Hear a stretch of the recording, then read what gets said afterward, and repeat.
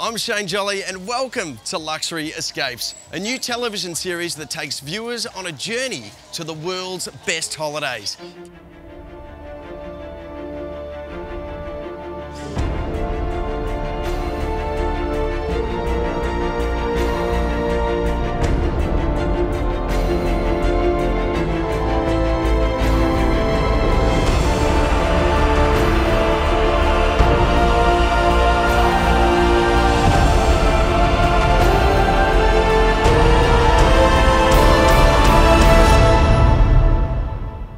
There's a city that's growing faster than anywhere else on Earth, and it's become one of the world's best playgrounds for luxury, fun, and ultra modern architecture.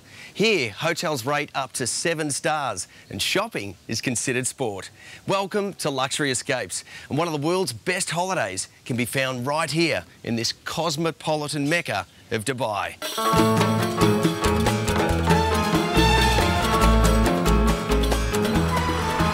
Dubai is the ultimate example of urban evolution. Its rapid rise as a truly global city only began around 45 years ago when oil-rich deposits were discovered off its coastline. Today, it's a mix of futuristic buildings, fantastic hotels and experiences, and attracts nearly 15 million visitors every year, making it an ideal destination for travellers. Brazil, what do you think is a great luxury escape here in Dubai? The luxury, it's just depend people what they want to feel like, you know. You can either ride camel or drive Ferrari. My luxury escape begins at one of Dubai's biggest icons, the world famous Atlantis. This 1500 room mega hotel is typical of Dubai's intention to show the world just how serious it is about making this city the world's greatest tourist hub. From its palatial 924 square metre Royal Bridge Suite, complete with private butler and 16 seat dining space, right through to a range of more affordable rooms, guests here enjoy views of the Arabian Sea, along with bedrooms, bathrooms, and furnishings that deliver unsurpassed levels of luxury. And they also have access to its 17 hectare water park featuring the famous Aquaconda, the world's longest water slide. Everything about the Atlantis is big. Named after the mythical city that sunk into the ocean, it only seems fitting that one of its greatest attractions involves an abundance of marine life. Well, there's not too many hotels around that boast having their own aquarium, but Atlantis does. Now, Rob, tell us a little bit about this aquarium. Sure, yeah, it's one of the biggest open air aquariums in the world. It's 11.5 million litres. And as you can see, it's, uh, it's all natural sunlight. It's all natural seawater as well. For our animals, this is as good as it gets. And there's lots of fish in there, so... I'm... There's lots of fish, yeah. We've got 65,000 uh, animals in there altogether, sharks, fish, stingrays. 65,000? Yeah, exactly, yeah. Rob, what happens if the, the, the, poor fish get sick? We have a, a fish hospital here, private, private hospital for fish. It is? Yes, it is, yeah. Wow. Well, it provides a, a, couple of different roles, actually. The sick animals is one, if we're bringing in new animals. And also we have a lot of our babies in there. So we've had, especially this year, we've had a bumper year for babies. Uh, something in the water, maybe? Something in the water, yeah. It's not just one of the world's largest aquariums that the Atlantis offers our travellers. There's something for everyone here. From shopping for that special gift, parks for the kids, and Luxury Escapes is the best deals around. If you want to visit Dubai, go to luxuryescapes.com or text Dubai on 0476 857 406. As well as heralding the new, Dubai still holds a special place for its past. And this can be experienced in the fascinating Old Dubai. Where do these spices come from? Do they actually come from here? Some of them. Wow. It's incredible. With its markets, also known as souks, my guide Sarah explained that the Emiratis traded herbs, spices, and other produce in the same fashion for thousands of years and used Dubai Creek as a trading port for just as long. And it was one of these traditions that were the inspiration for the city's magnificent new opera house. Based on the shape of the traditional fishing boats of Dubai, the opera house's definitive shape reflects the innovation of a modern city that still has affection for its past. The building, when you, when you look at it from the outside, is a dhow, an Arabian sailing vessel. In Sydney, of course, you have magnificent sails in the, in the harbour. Here we have the rest of the boat, if Yes. you like. Here is something that connects the history of Dubai, the, the amazing maritime tradition, and that's what's reflected in our uh, exterior design. When you look inside, you have a lot of the, the traditional facets of a, a contemporary theatre, the kind of red seating that is so familiar, a red curtain. Yes. But around us, the walls, we have an Arabic uh, mashrabiyah effect, just reminding people of where we are in the world and that although this is theatre, although we can stage great musicals, and operas and ballets with a Western heritage, we are in the Middle East and it's important that we set our position in that context. Coming up, we visit the exotic Arabian Desert, then head to Australia's cultural capital in Melbourne.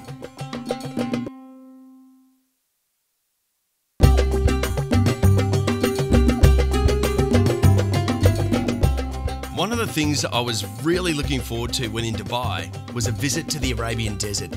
This is how Dubai used to be and is a complete contrast to the hustle and bustle of the city centre. And I'm doing it in style in a Range Rover from Platinum Heritage Luxury Tours and Safaris. Well, if you didn't want to opt for one of the more plush Range Rovers, for the more adventurous of you, you can always go back to the old retro Land Rover.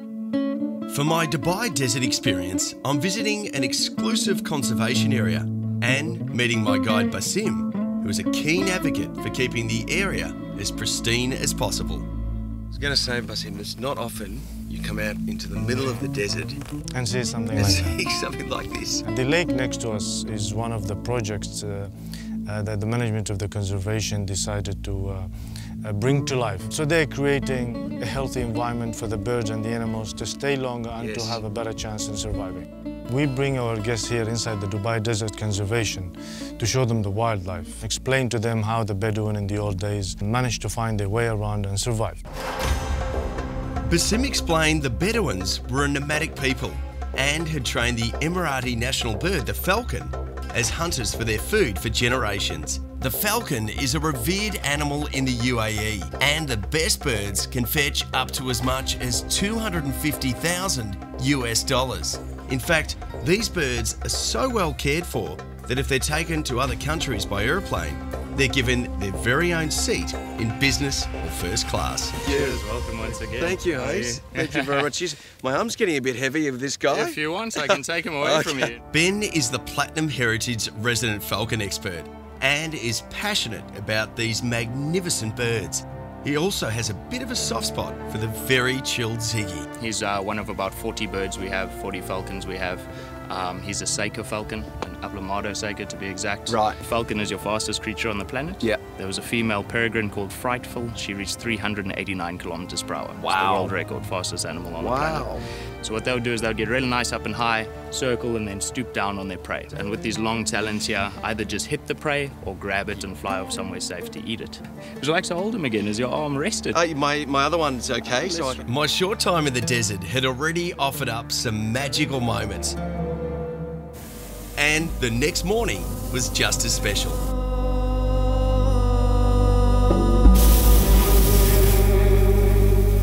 It's time to see Dubai from the sky.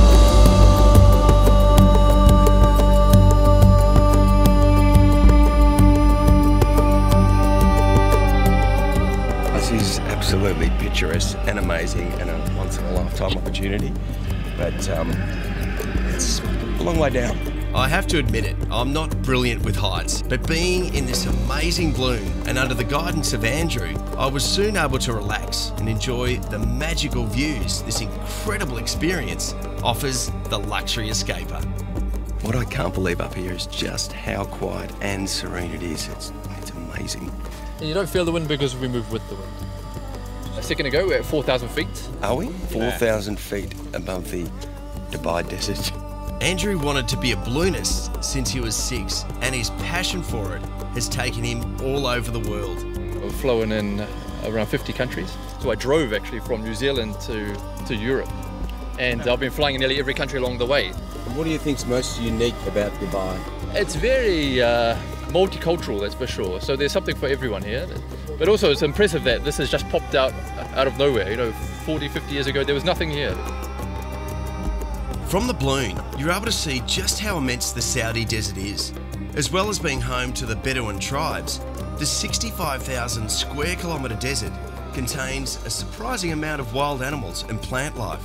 And although it's hard to tell from so high up, there are approximately 37 different types of sand that make up its composition.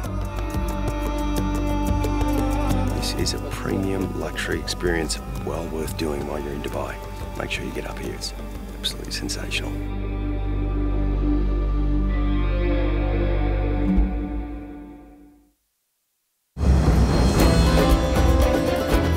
It's fair to say that most travellers are spoiled for choice when it comes to great hotels in Dubai.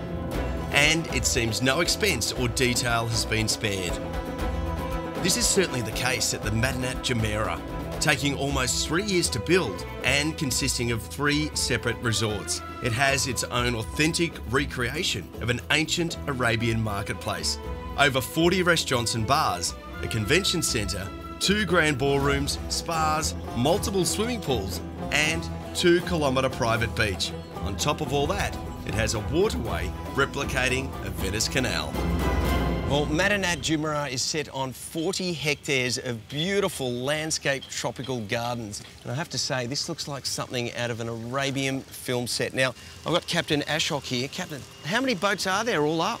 We have uh, 40 boats. 40 boats? Like these are like traditional Arabic boats, like they used to transport um, in uh, the old Arabian times. The beautiful waterways stretch over 3.5 kilometres, and there's plenty to see along the way. It's a magnificent view also of the, Yeah, yeah, this is Burj Al Arab, Tower of the Arabs. Burj means a tower, the tower. iconic landmark. Yeah, very much so. Imagine one thing, you're in any job, you'll get bored, yeah? Sitting somewhere or you you know doing one thing, one place. This is I'm doing 10 years, and every day I come with a new excitement. You do? know, of course, because it's four kilometers, 3.7 kilometers area is so beautiful. Yeah. And the most important thing is you're meeting every day, every time new people. New people. I'm very envious. And when, when you're here, like you stay here for a week or, or, or any number of days, you don't go out, you just feel you have been to something else, some other world, you know? If you want to visit Dubai, go to luxuryescapes.com or text Dubai on 0476 857 406. This is a banquet. Well, this is what we offer our guests. Wow. What have we got here, Basim? We have some aubergine with the cheese and uh, olive oil and vinegar, fattoush. We have hummus and we have the kibbeh, which is a meatball. We always cook it on site to serve it as fresh as possible. Dubai is also renowned for its vibrant food culture. Traditional Arabic food is popular amongst travellers and locals alike, but the city's rapid cosmopolitan growth has meant a demand for more modern cuisines and leading international chefs like Gregoire Berger, a global finalist in the 2016 Young Chef of the Year Awards, are also in demand. It's like uh, nowhere in the world. So to satisfy everybody, it's take a lot of effort and a lot of creativity. The best that the, the world can offer, we can bring it here and we, we work on it. It's not only the traditional food of Dubai that has seen influences from other regions of the world. Arabia may be the birthplace of coffee, but it's countries like Australia that have made it the morning ritual it is today. With Dubai being almost 85% expats, I was delighted to hear that a little slice of Melbourne could be found right in the centre of Dubai. It's, it's funny, Dubai is actually quite similar to Melbourne in, in a lot of ways where you've got a real melting pot of a lot of different cultures over here, um, as you do in uh, Melbourne.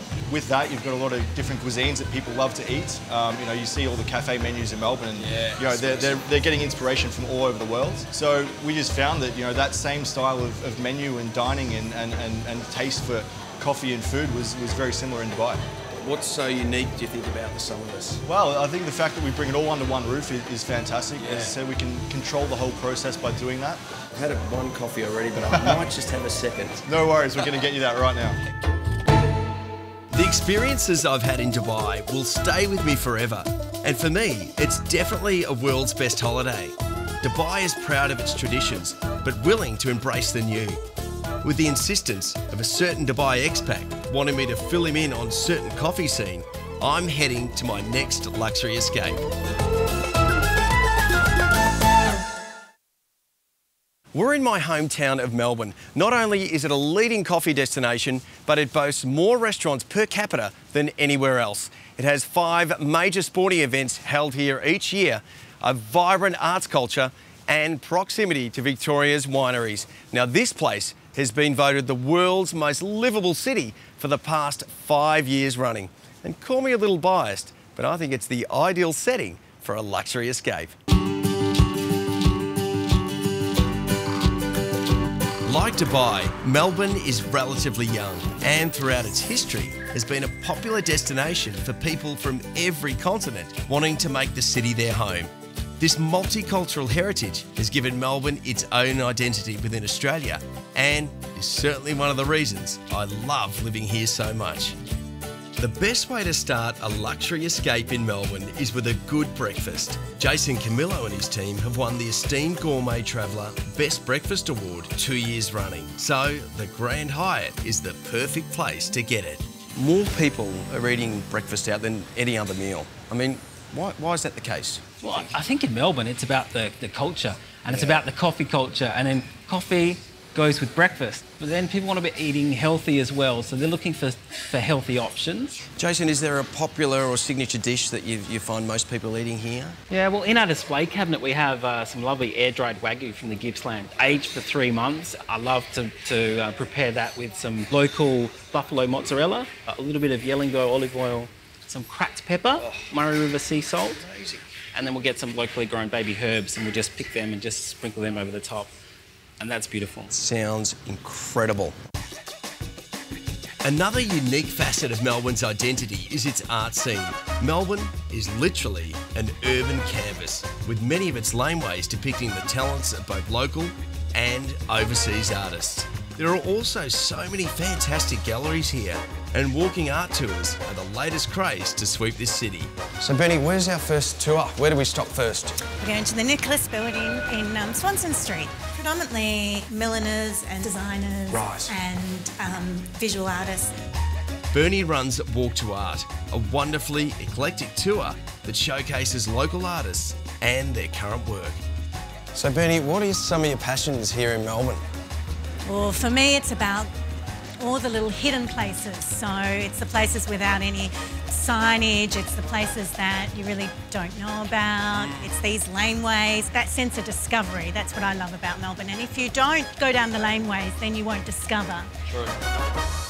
The laneways and plenty of other parts of Melbourne offer fantastic shopping too. So you'll always look your best for the night ahead. Lume Restaurant may not be hiding in a laneway, but its unassuming entrance certainly hides the excellence of what's inside. It has a reputation as one of Melbourne's best, and head chef Shaun Quade is constantly experimenting with all types of food. I don't want to say signature dish, but it's probably everyone's favourite. Uh, it's called Pearl on the Ocean Floor. Right. We've got some beautiful uh, Sydney rock oysters, native Australian oysters from uh, Clyde River. Lots of seaweed. It's basically like a seaweed salad that we do. We've got about, we've got eight different types of seaweed that I picked very, very early this morning. You actually did that yourself? Yes. Okay. Yeah. So what time were you up this morning, Shaun? Uh, I got up about 3.30. Right, nice. And, you know, out in the dark with my torch. That's called dedication to the cause, Yeah. I think. Very much so. East of the sun. The laneways are home to some great music too. The Paris Cat has been at the forefront of the Australian jazz scene for the past 10 years and is still nurturing new and established talent alike. I think Melbourne is the music capital of Australia. I'll agree with you, but you said it first, so you'll get in trouble. There's a big creative scene in Melbourne. Melbourne is very special and certainly recognised on an international level. Also, everything in Melbourne is quite close together. If you want to go someplace for dinner and then go somewhere for drinks, it's all within walking distance. Absolutely. There's a lot to enjoy. After a day of music, food, and art, what better way to finish it off than with a nightcap? The brilliant Ruco Bar pays homage to Melbourne's art scene, and like the cocktails they serve here, it's a perfect mix of art and atmosphere. The sculptures that adorn the bar are the work of local artist Bruce Armstrong. The way these evolved for me is that I worked in with the architect with what he'd had in mind with the design. So tried to make them quite contrasty between one and the other so that you, you end up looking up and down at them in the same way as you do uh, with people in a bar or at a party. All our guests always ask about the, the sculptures, and we just created a little story around them and created three signature cocktails. This one is our big favorite, and it's called Incognito. And it's a vodka-based cocktail with the bison grass flavored. Okay, great. Some lime juice, a bit of simple syrup, then a bit of rosemary. So we're gonna spray some absinthe. You're gonna light it up, and then you pour it over the glass. Wow. If you want to visit Melbourne, go to luxuryescapes.com or text Melbourne on 0476 857 406.